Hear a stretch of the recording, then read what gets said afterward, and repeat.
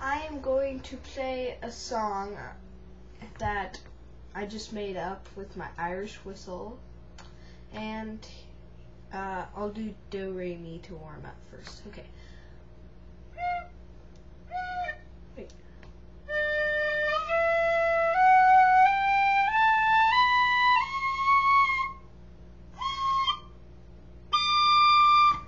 Okay.